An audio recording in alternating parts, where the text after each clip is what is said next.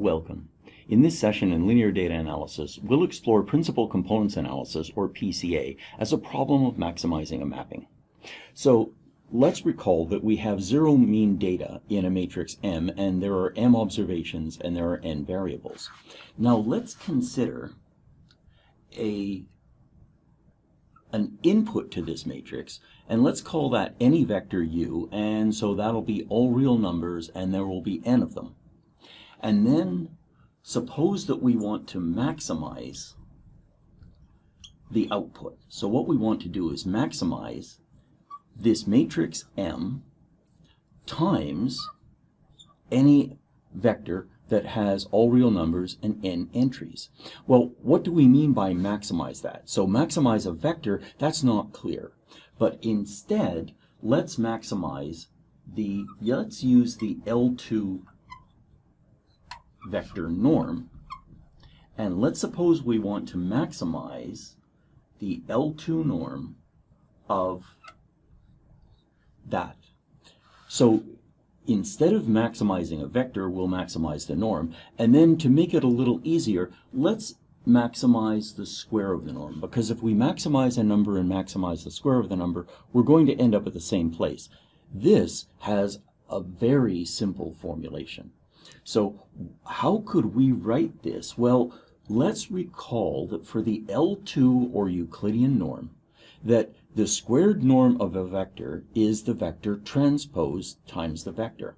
So that means this has to equal, this inner part is m times u transposed times m u. And if we then do this transposition, that will be u transpose m transpose m u. And what is m transpose m? That is the scatter matrix. So the problem of maximizing the squared norm of the product of the zero mean data and any input vector. That is the same as trying to maximize the quadratic form.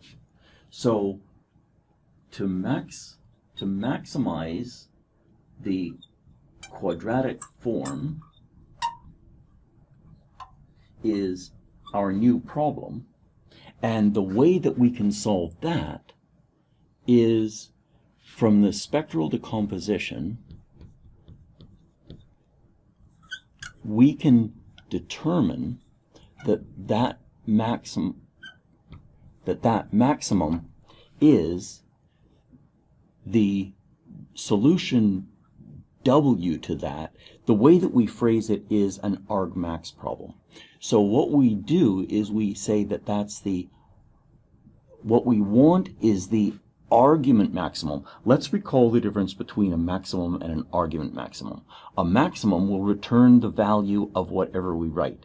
The argument maximum is the argument that returns that maximum value. And generally, we're really interested in the argmax problem. So that's the argmax problem of all u that have real entries and n.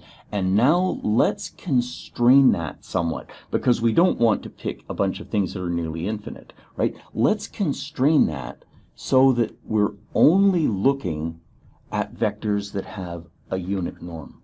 And if we constrain our vectors to unit norm and we're trying to maximize u transpose s u, then we find that W is the maximum eigenvector of the matrix S.